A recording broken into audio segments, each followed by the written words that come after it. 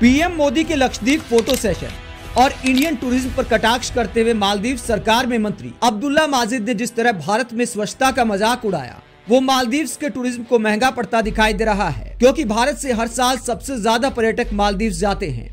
साल 2023 में भी दो लाख से ज़्यादा भारतीय मालदीव गए थे।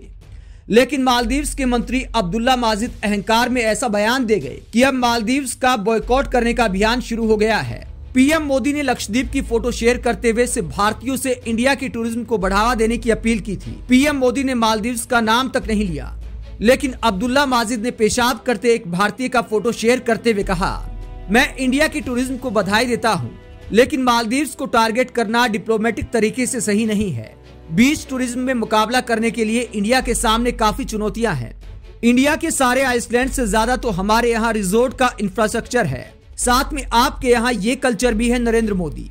मालदीव्स के मंत्री ने जो कल्चर दिखाया, उसमें एक व्यक्ति को समुद्र किनारे पेशाब करते दिखाया गया है। अब्दुल्ला माजिद के अलावा मालदीव के बड़े नेता जाहिद रमीज ने भी भारत की स्वच्छता का मज़ाक उड़ाते हुए कहा कि इंडिया हमारा मुकाबला नहीं कर सकता, क्योंकि उनके कमरों में परमानेंट स्मेल आती है। मालदीव के नेताओं ने पीएम मोदी और इंडियन कल्चर का मज़ाक उड़ाया। तो अक्षय कुमार से लेकर सचिन तेंदुलकर का रिएक्शन सामने आया है। अक्षय कुमार ने मालदीव्स के मंत्री को जवाब देते हुए कहा, मालदीव्स की जानी मानी हस्तियों के नफरत से भरे और नस्ल भेदी कमेंट सामने आए हैं। हैरान हूँ कि उस देश के लिए ऐसी भाषा का इस्तेमाल किया जाता है, जहाँ से सबसे ज़्यादा टूरिस्ट आपके यहाँ आते हैं। हम अपने पड़ोसियों के लिए अच्छा रहना चाहते हैं, लेकिन इस तरह उकसाने वाली नफरत को सहन क्यों किया जाए? मैं कई बार मालदीव्स गया हूँ, लेकिन सम्मान सबसे ऊपर है। इंडियन आइसलैंड को एक्सप्लोर करने का फैसला करें और इंडियन टूरिज़्म को बढ़ावा दें।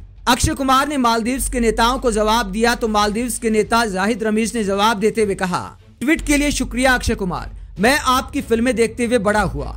रिकॉर्ड के तौर पर कहता हूँ कि मैं ना तो भारत के खिलाफ हूँ, ना ही नरेंद्र मोदी के खिलाफ हूँ। लेकिन पिछले पाँच साल में मालदीव्स की राजनीति में भारतीय दखल की वजह से मैंने ऐसी प्रतिक्रिया दी। गलत मत समझिए, सब कुछ आपकी फ़िल्मों की तरह काम नहीं करता। हिसाब बराबर।